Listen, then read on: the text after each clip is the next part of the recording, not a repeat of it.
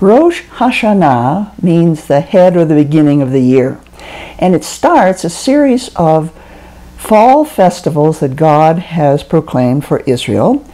I have found these fall festivals to be prophetic and have been really amazed at the prophecy that is in them that tells us about end times. So I'd like to start with Rosh Hashanah and the following 10 days of awe. The Jewish tradition is that God will judge just a few of the, of the Jews on Rosh Hashanah, those that he finds to be righteous. Christian tradition sees the rapture of all believers in Christ, but I disagree. I find that God will be selecting a remnant that he deems righteous. Now, we can't be perfect, so it's righteous in God's eyes, those who are righteous in God's eyes, out of Israel and out of Gentile believers in Christ. It has nothing to do with belief in Yeshua, it has to do with God's concept of righteousness. And so my conclusion is more in line with the Jewish thinking. Let's look at scriptures and, and see what, what scripture tells us. First, let's look at the, the Christian tradition of Rosh Hashanah. The Christian tradition is that all believers in Christ, Jew and Gentile, will be raptured to, to go up to God, and that is the prophetic symbolism of Rosh Hashanah. They find that only Jews who believe in uh, Yeshua, or perhaps in the coming of the Messiah, will be included. I disagree. I think that uh, certainly all Jews will see the Messiah at some time, but God's decision of the uh, remnant really is based on righteousness, not on belief in Yeshua. So the tradition is that all believers in Christ, Jew and Gentile, will be raptured and that Jesus is re- now here, here's another interpretation. this is another one. the other one is that Jesus is returning for a pure and spotless bride, so that he will only the only ones being raptured, which equals being saved in, in Christian terminology, are those who are pure and spotless. That means righteous. So that particular interpretation finds that only the righteous believers in Christ will be saved. I, of course, disagree with that. I find that the role of the remnant is in God's plan to help bring all of God's people into his presence. Now, let's take a look. There are three names for Rosh Hashanah, descriptive names. One is Yom HaZikron, which means the day of remembrance. Now, um, this term is in the Talmud and it is apparently originated after the destruction of the temple. So they had to think of, the Jewish sages had to think of something uh, that would be important. So the first thing is uh, Yom HaZikron actually means um, a reminder by blowing. That's what it means. A reminder by blowing, the, the day of of, of remembering, the day of remembering. And it's a reminder by blowing, the trumpet blows. now, the, the sages came up with remembering God's creation of the world. now, that's not in alignment with, with my thinking and with Christian thinking. Let me show you my suggestion. My suggestion is that the end of time will restore God's creation to the beginning. Now, Rosh Hashanah is not the end of time. Rosh Hashanah is a righteous remnant will initiate this restoration. All right. Now there are three names for Rosh Hashanah. Yom HaZikron, the day of remembrance, is one. Um, here's uh, Yom HaTeruah, that's the day of blowing, and the trumpets will be blown on that day. Now this is really interesting. After the Jews escaped from Egypt, at the time of the Exodus. Exodus, they were in the wilderness. They were at the foot of Mount Sinai, and they were camped in um, in, in, four directions north, south, east, and west, and in the middle was the tabernacle. Now, what we learn is that when only one trumpet is blown, leaders, heads of the divisions of Israel, respond to one trumpet. It also says that the camps pitched on the east side will respond when one trumpet is blown. That's really significant because the leaders are the Roshim, which is a word that identifies the remnant.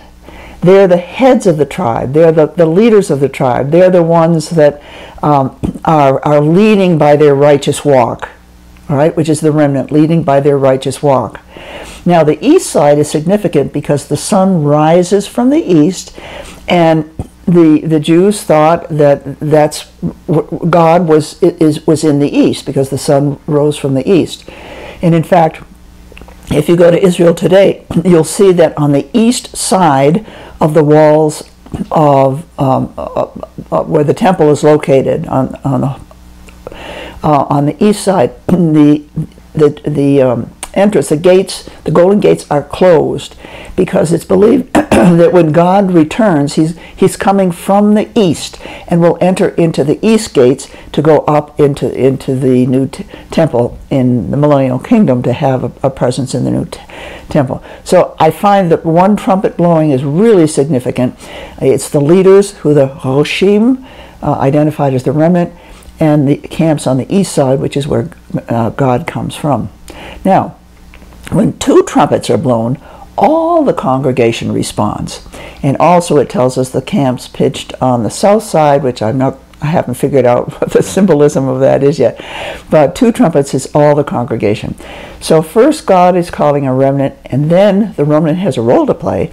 And after the role that they play, God will there, will be the two trumpets, and all the congregation, all God's people will come into His presence. There is a third name for Rosh Hashanah, and that's Yom Hadin. That means the day of judgment. And there will be a judgment, according to tradition, both Christian and Jewish, a day of judgment on Rosh Hashanah.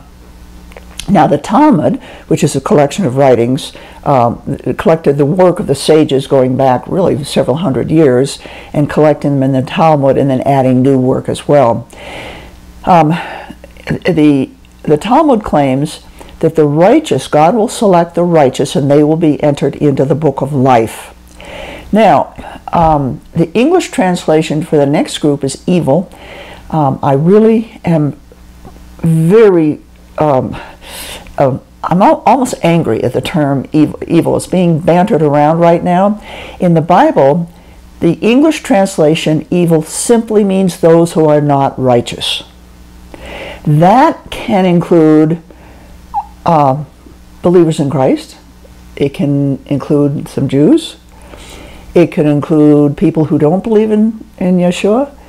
It just means the unrighteous. And so there, there, there are two categories. There's the righteous and the unrighteous.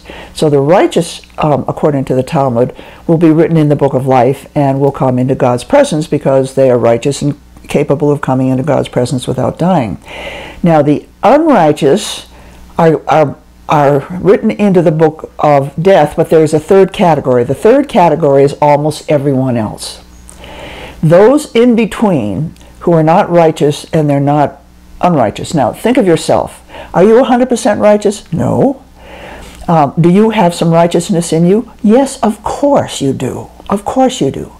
But there are unrighteous parts in you also. You know, I mean, we're, we're not per- perfect. we're not 100% perfect. So um, most are in between. Um, they have some righteousness in them, but they have still some sinning aspects in them. And their judgment will be suspended until Yom Kippur. Now that's the Jewish tradition. That's not what I am concluding. That is the Jewish tradition. All right, let's go on. I'd like to take a look at some prophetic passages that refer to Rosh Hashanah. And we read, He brought forth His people with joy, His chosen ones with a joyful shout. Now, chosen ones is that, that um, term that means God is selecting a few out of a large number. And it's referring to the remnant. The shout is the trumpet. And I suggest that one trumpet will be blown. All right? And then it continues He gave to the remnant, the chosen ones, the lands of the nations that they might take possession of the people's labor. Now in Ezekiel, it, it defines the the boundaries of what Christians call the millennial kingdom. Jews don't call that. They, they know there will be a period of, of peace, a future period of peace, and they know that it will be an enlarged Israel of what, what is Israel today. And you can see in the map that each of the 12 tribes is given an allocation of, of land. The one in, in orange is the holy portion where the, the temple, the third temple, will be constructed there. And, the, and Yeshua will be the, um, the king and the high priest, both king and high priest. And my suggestion is that the remnant will come in with Yeshua to the millennial kingdom, but it's only a thousand years. Um, by the way, it's the remnant and their families will come in to the millennial kingdom. It's only a thousand years, and there will be things happening after that. okay, and then it continues. So they, the chosen ones who have responded to one trumpet, might keep his statutes and observe his laws, laws, praise the Lord, and that identifies the remnant, those who are keeping his statutes and observing his laws. That's righteousness. They're walking in righteousness. And let's see, I had another, oh, I found another passage interesting in the book of Revelation. Um, and I, I suggest that this is Rosh Hashanah. The angel said to me, why do you wonder? I will tell you the mystery of the woman and of the beast which carries her, which has seven heads and the ten horns. Now, those are, are kings and kingdoms. Um, and then it continues These will wage war uh, against the Lamb. So, this is Satan and his army is going to wage war against the Lamb. The Lamb, of course, is Yeshua. And the Lamb will overcome them because he is Lord of Lords and King of Kings. And those with him are the called and chosen, there's our word chosen, and faithful. Now, the called are all those who belong to God, but the chosen makes that a much smaller number because they're the ones that God is selecting to carry on the next part of his plan to redeem all of his people. They're called the remnant and they are the faithful ones. Okay? Now, Rosh Hashanah, let's just summarize here. Tr- one trumpet will blow. The called and chosen and faithful will be resurrected to join Yeshua, not all believers in Christ. Satan and his army, after there'll be a battle, and at the end of the battle, Satan and his army will be defeated. Satan will be chained for a thousand years, and that's what Christians call the millennial kingdom. He will be chained for a thousand years, which is why there will be a reign of peace for a thousand years, because Satan will not be there to, to prompt sin. Um, you know, we're still prone to sin even without Satan, so we have to learn how to overcome sin in our lives. The remnant and their families will enter the millennial kingdom, uh, and this is this is my my interpretation. I'm sharing with you what I have found.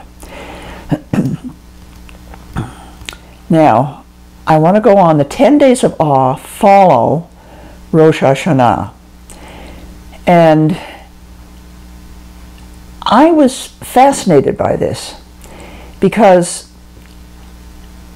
how long does the Great Tribulation last? It lasts for seven years.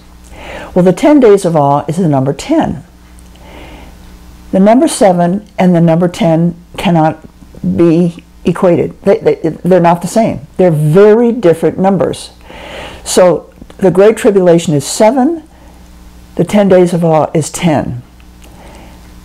Let's talk about the Great Tribulation. The Bible does not give a time for this coming great tribulation. Christians have determined it will be seven years. From, they've taken that from the last week of Daniel's 70 weeks. And, and, and other, so the last week is seven, the number seven. All right.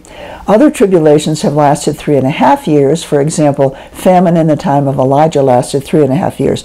So a few Christian theologians have suggested that it's three and a half years, but most Christian theologians have concluded that this, what we call the Great Tribulation, will last seven years.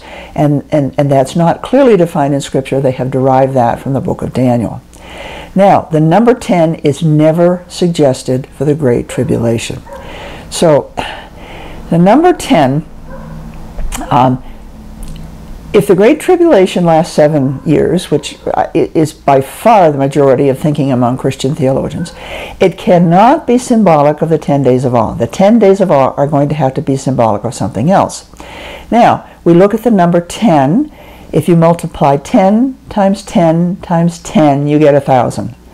And, and Hebraic thinking, that's, that's just done for emphasis and a thousand millennial, Christians call it the millennial kingdom.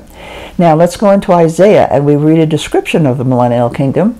The wolf will dwell with the lamb and the leopard will lie down with the young goat and the calf and the young lion and the fatling together. That's the time of peace. you know, and the lion's not going to be eating people. the wolf's not going to be going after the lamb.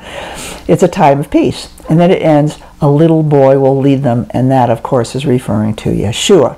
So this is, is I am suggesting that the 10 days of awe are symbolic of the coming millennial kingdom. What happens after the millennial kingdom? Well, we get Yom Kippur and Sukkot, and those are both prophetic. So um, my suggestion is that a, Yom Kippur is, is prophetic of a lot that is going to happen, and that Sukkot then is prophetic of a lot that is going to happen. Um, th- th- that will have to come in, in my next two little uh, uh, discussions. So I'm going to leave you now with Rosh Hashanah and a lot to think about about the prophetic symbolism of Rosh Hashanah. Shalom.